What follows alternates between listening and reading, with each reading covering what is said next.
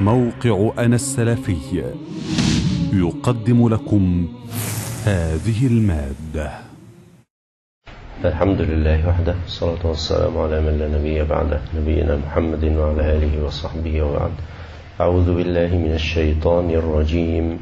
وحشر لسليمان جنوده من الجن والإنس والطير فهم يوزعون.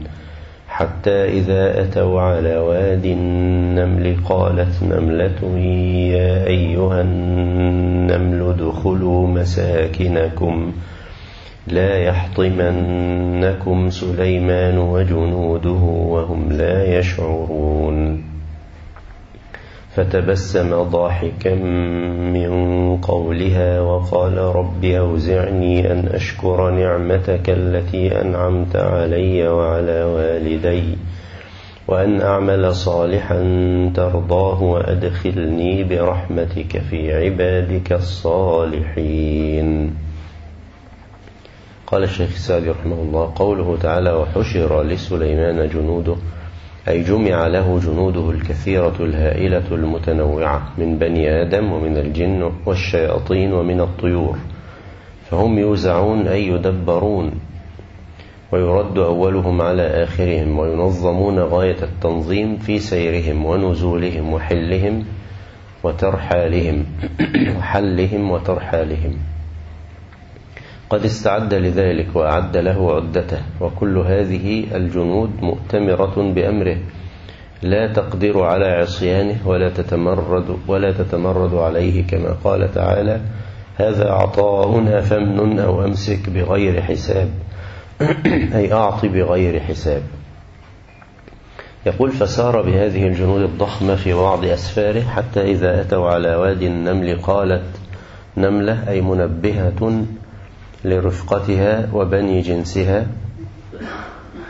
يا أيها النمل ادخلوا مساكنكم لا يحطمنكم سليمان وجنوده وهم لا يشعرون.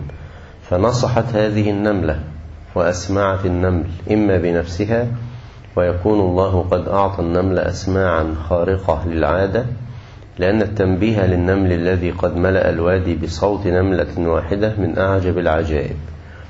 أو بأن أخبرت من حولها من النمل ثم سر الخبر من بعضهن لبعض حتى بلغ الجميع وأمرتهن بالحذر والطريق في ذلك.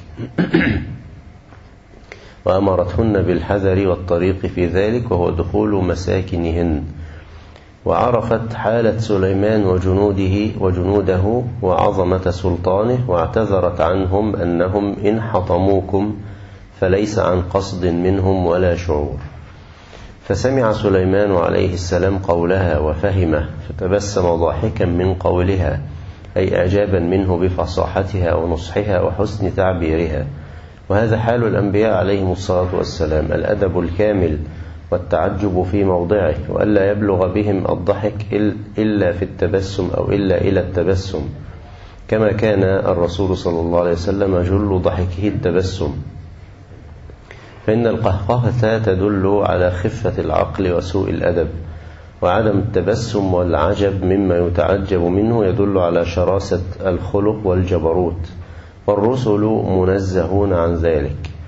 وقال شاكرا لله الذي أوصله إلى هذه الحال رب أوزعني أي ألهمني ووفقني أن أشكر نعمتك التي أنعمت علي وعلى والدي فإن النعمة على الوالدين نعمة على الولد. فسأل ربه التوفيق للقيام بشكر نعمته الدينية والدنيوية عليه وعلى والديه وأن أعمل صالحا ترضاه.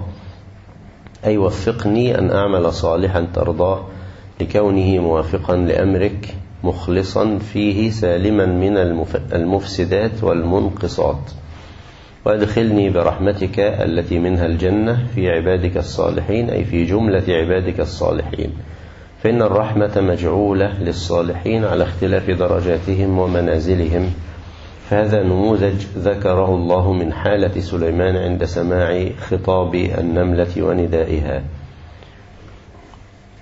من فوائد الآيات بيان فضل الله عز وجل على نبي نبيه سليمان عليه السلام. كما ذكرنا وهذا ما اختصه الله عز وجل به من بين الناس. وفيه وفيها كذلك ما أودعه الله عز وجل في هذه الكائنات وتلك الحشرات. وكلها أمم تسبح الله عز وجل. وفيها كذلك واجب النصيحة فعلى المسلم أن ينصح لإخوانه وأن يحرص عليهم وأن يدلهم على ما ينفعهم وينجيهم ويحميهم من الضرر.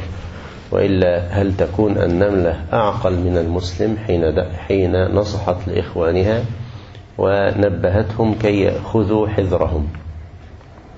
كذلك فيها شكر نعمة الله عز وجل يكون بالقول والفعل ومن الأدعية في ذلك قوله سبحانه عن سليمان رب أوزعني أن أشكر نعمتك التي أنعمت علي وعلى والدي وأن أعمل صالحا ترضاه وأدخلني برحمتك في عبادك الصالحين. فهذا مما ينبغي أن نكثر منه شكرا لنعمة الله سبحانه وتعالى.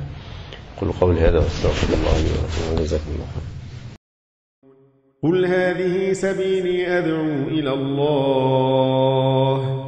على بصيرة أنا ومن اتبعني وسبحان الله وما أنا من المشركين.